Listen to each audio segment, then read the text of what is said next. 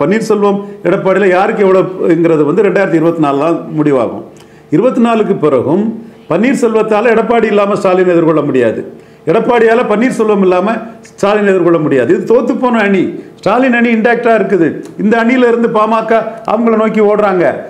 மூணு பர்சன்ட் ஓட்டு எடுத்த கமலஹாசன் ஸ்டாலினை நோக்கி பிரச்சாரத்துக்கே போயிட்டு அங்கே கமிட் ஆயாச்சு. அப்போ ஐம்பத்தி மூணு பர்சன்ட் ஓட்டு எடுத்தவங்கள்ட்ட மூணு பர்சன்ட் ஓட்டு எடுத்த கமலஹாசன் உள்ளே போயிட்டார். ஏழு பிளஸ் ஒன்று எடுத்த பாமக எடப்பாடியால் லாபம் இல்லைன்னு அங்கே போய் நிற்கிறாங்க அப்போ இந்த சூழ்நிலை ரெண்டாயிரத்தி இருபத்தி நாலு எப்படி இருக்கும்? எப்படி இருந்தாலும் ரெண்டு வரும் ஃபோல்ஸ் தான். ரெண்டு வரும் ஃபோல்ஸ் ஆன பிறகு யார் அடுத்தால ஸ்டாலினை எதிர்கொள்றது? இன்னைக்கு ஒரு தொண்டர் எதிர்கொள்ளலான்னு பன்னீர்செல்வம் புள்ளி வச்சுட்டாரு.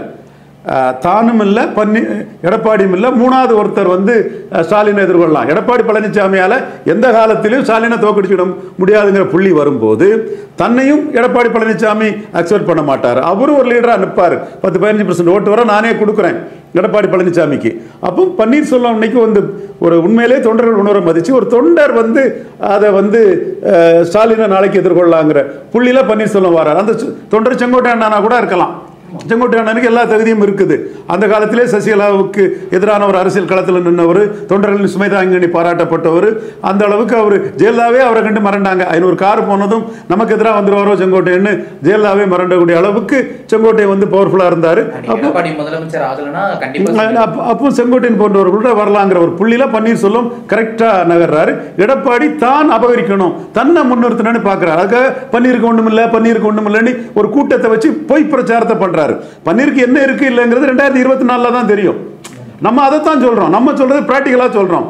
சொல்லுவோம் பொது பொருளாதார வாங்கிட்டு போயிருவார் அதை வாங்கிட்டு போயிருவார். நீங்க அடிக்கிறார் பாருங்க அவர் பேரே சொல்லாம சொல்ல அப்ப நம்ம சொல்றது பன்னீர்செல்வம் விஷயத்துல சரியாயிட்டு இல்ல. ஓட்டு என்னங்கிறது இருபத்தி நாலு தான் தெரியும். தந்தை பெரியார்கிட்ட கடவுள் இல்லைன்னு சொல்றீங்களே உங்கள் உங்க முன்னாடி கடவுள் வந்தா என்ன சொல்லுவார்னா இருக்காருன்னு சொல்லிட்டு போறோம்னு சொல்லுவார் சொன்னார். அதே மாதிரி பன்னீருக்கு எவ்வளவு எடப்பாடிக்கு எவ்வளவுங்கிறது இருபத்தி நாலு தான் முடிவு பண்ணோம். என்னோட அசஸ்மெண்ட் எடப்பாடி பழனிசாமி சமூக நீதியை சூறையாடுறதுனால பதினஞ்சு பர்சன்ட் தாண்ட மாட்டாருங்கிறத நாம நாம சொல்றோம். இடைத்தேர்தல் பொது தேர்தல் பொருந்தாதுங்கிற பொறு- புள்ளியை நம்ம சொல்றோம். ஆர்கே நகரில் பதிமூணு பர்சன்ட் எடுத்த ஸ்டாலின் தான் ஐம்பத்தி மூணு பர்சன்ட் ஓட்டு எடுத்து ஸ்வீப் பண்ணாரு. ஐம்பது பர்சன்ட் எடுத்த தினகரன் அஞ்சரை பர்சன்ட் தான் எடுத்தாருன்னு சொல்லும்போது ஒரு பகுதியில் ஒரு ஏரியாவில் ஒரு ஜாதியில் ஒரு தன்மையோட உள்ள அது வந்து ஒட்டுமொத்த தமிழகத்துக்கு பொருந்தாது. ஆனால் எடப்பாடி பழனிசாமி எடுக்கக்கூடிய ஓட்டிலேயே பன்னீர்செல்வத்துக்கும் பாஜகவுக்கும் பங்கு இருக்குன்னு அண்ணாமலை பிரச்சாரமும் பன்னீர்செல்வத்தை ஏன் பே- சொல்லலைன்னு தொண்டர்களே கேட்டுட்டானே? அப்போ நீங்கள் வந்து அங்கே ஜாதி பிரச்சனை இருக்கத்தானே செய்யுது? அப்போ மற்ற ஜாதி ஏரியாக்குள்ளே போகும்போது பன்னீர்செல்வத்துக்காக கேட்கத்தான் இதைத்தான் நான் சொன்னேன். நான் உள்ளாள காங்கிரஸ் மத்தியில் பன்னீர்செல்வத்துக்கு செல்வாக்கு இருக்கும் சைலண்டாக இருக்கும்னு தான் சொன்னேன். அது வெளிப்படையாட்டே தெரிஞ்சிருக்குது. ஸோ இருபத்தி நாலு தான் முடிவு பண்ணோம். பன்னீர்செல்வத்துக்கு எத்தனை பர்சன்டேஜ் எடப்பாடி பழனிசாமிக்கு எத்தனை பர்சன்டேஜ்னு நீ மாநாடு போடுவார் நம்ம எதிர்பார்த்தோம். மாநாடு போடுறாரு. சிம்பல்ல இருக்கிறனால சிம்பல்ல பங்குண்டுன்னு நிற்பாருன்னு எதிர்பார்த்தோம். நிற்கிறாரு.